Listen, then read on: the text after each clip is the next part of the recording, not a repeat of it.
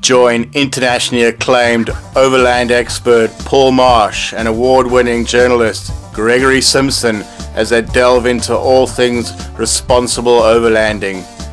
From choosing the right vehicle, getting yourself prepared, getting your vehicle prepared, safety tips, and much, much more.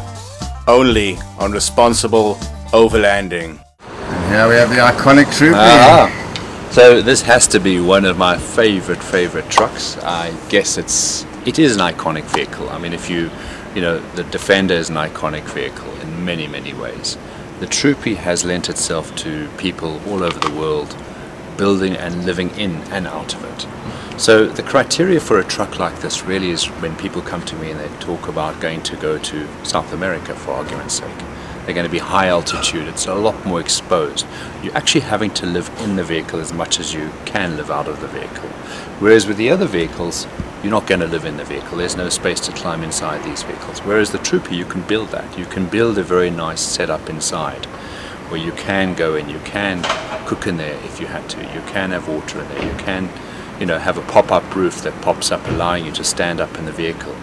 So that space to be in the vehicle is actually quite critical, especially when you get to really remote places where, you know, you go in South America, it is bitterly cold, you're high up at altitude, it's cold, it's blistery, you don't really want to be outside, you know, it's just not fun. So that's when the Troopy really comes into its own. It's, it's a vehicle that, you know, in Africa, do you need to live in the vehicle? Well, no, not really. I mean, we've got amazing weather. When it gets rain and, and wet, it's nice to have that option. You can climb in the vehicle. And you'll also find people's needs change. They might start out living, we're using a vehicle where they're living out and around it, and as they get older, they go, you know what, we want that much more comfort, you know. And there are people who do amazing conversions where they cut the, the troopy bodies, and especially in Germany, the guys cut the bodies back and they build wider bodies to give you a bit more space inside. Fantastic at a price. That's a big know, price. At a uh, big price. Do you ever see any sliders where you can actually make it wider and mechanically? You know, that that you, I have seen, uh, especially at the shows in Germany, guys do fantastic work. Anything like that, you've got to remember, once you're introducing parts that move, you're adding a complexity. So it's not So, made for African you know, roads. You kind of want to keep it simple. So the one thing I do like about the Troopy is you don't, if you don't cut the body, you've got the integrity and strength of a, a very well-made body. You might, we, we do cut the roofs off, and this one's going to have the roof cut off, and we're going to put a pop-up roof on here, and we're going to kit out the interior. I've got three more that we're busy with. But the reality is, you know, that is still a strong part of the vehicle. The integrity of the vehicle is still very strong. So we're not changing anything in that. And, and the Troopy actually allows you to spread the load out, out the vehicle very nicely because you load, you know, inside the vehicle you've got storage down the left and right hand side. You're putting, you've got two tanks underneath, which is fantastic. So fuel's underneath. We put water tanks underneath. So we are keeping the center of gravity very low. And that does make a big difference. So it's a lovely vehicle to drive, very nice and balanced. And I find that's probably one of my favorite favorite vehicles between that and the 80 series. And I want to show you the next vehicle. And in terms of off-road ability, can you differentiate them? I think they all work pretty well. I think the biggest gripe I have with the Toyotas where the axle in the front is wider than the back, that does hamper your off-road driving. You know, people do put spacers. I'm not a great fan of spacers because if you are going to fit spacers, you've got to use good quality spacers and you need to, as a person owning the truck, take responsibility for that. I've seen spacers come loose where people haven't tightened them properly, they haven't serviced them, they forget to check them. So my advice to people, if you're going to use spacers, make sure they're really good quality. Make sure that the bolts and when they're fitted have got the correct Loctite on the bolts. And they're properly torqued up and buy yourself a torque wrench and personally check the torque on those those spacers and the rear wheels. Because any movement like that any movement the spacer comes loose and the wheel comes off. It's disastrous. Presumably you give your client a checklist of do's and don'ts. I've got full checklists because for me it's very important. There's a daily checklist, then there's what to do weekly, and then if you're on a big expedition, monthly. So one of the daily checks that I have is to actually look under the car in case you can see any oil spots. Now, you know, we don't get big oil leaks on cruises. If there is an oil leak, then it's something you need to really look at.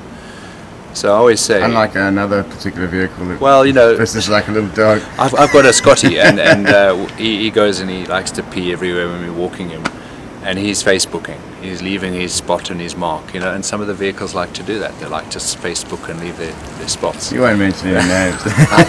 and, and and purchasing the troopies, um, are you They- finding it harder to find them now that not, they're not made in South Africa? Yeah, you know, troopies, troopies aren't brought into South Africa anymore, and I think that's for us as overlanders. It's it's quite sad because it is a very, it's a niche market, and I understand Toyota's challenge.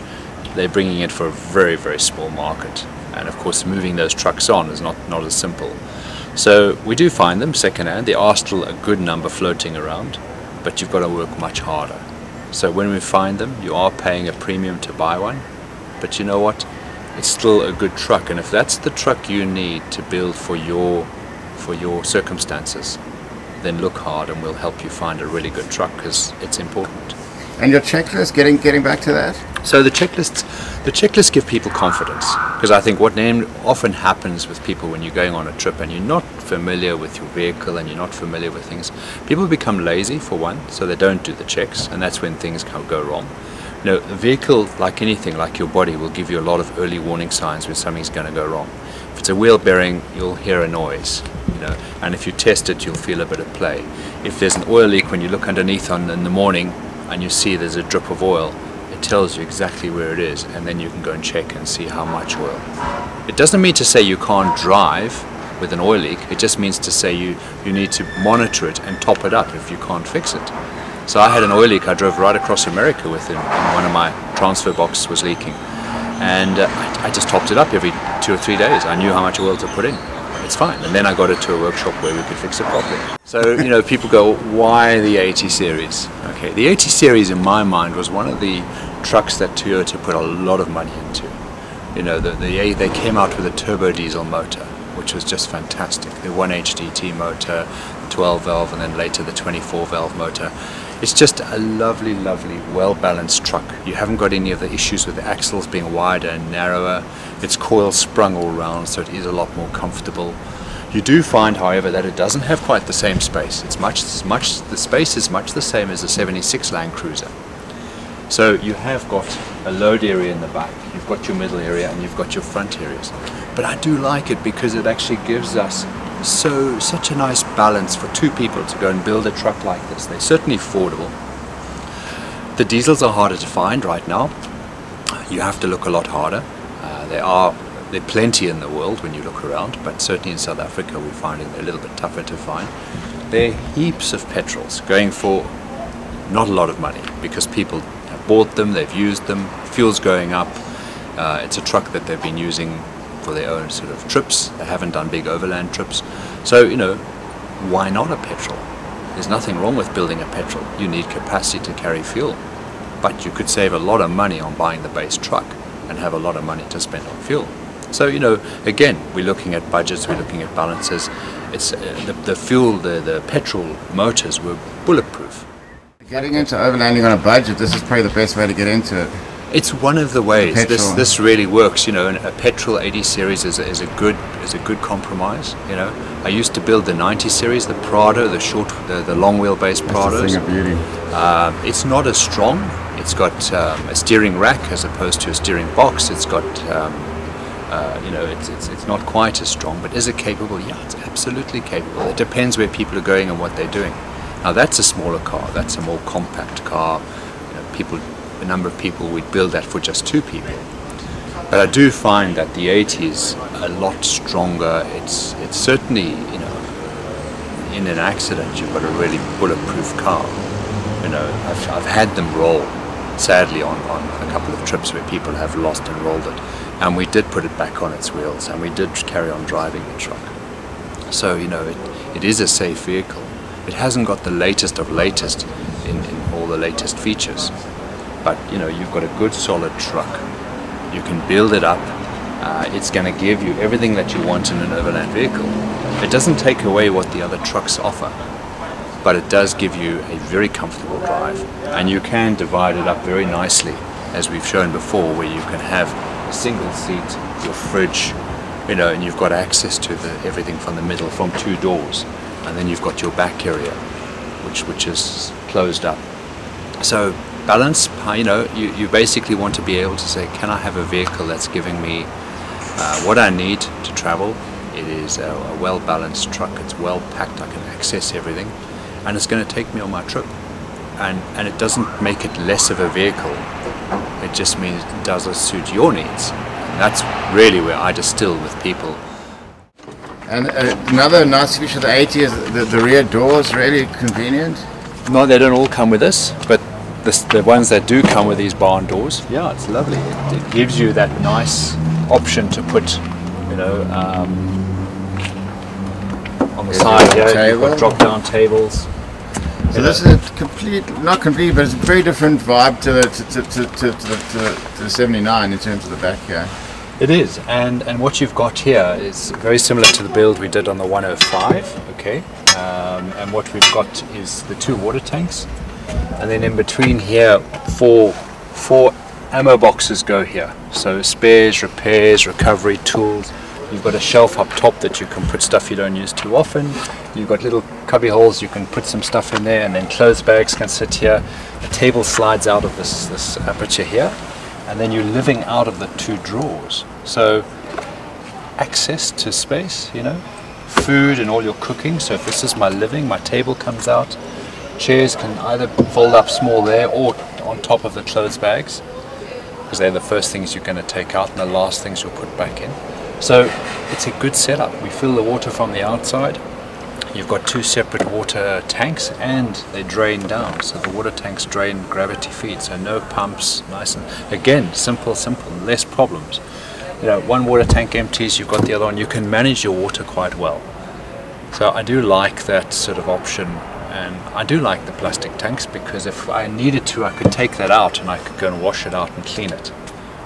You know, Probably uh, good to do every every. Oh, it is, so and you often. put stuff in the tanks and you can wash them out. You know, Yeah. if you haven't used the tank, you can put something in and you can drain it out. You don't have to take it out. So 80 liters is But, that um, sufficient for for Yeah, for most people, 80 liters is fine.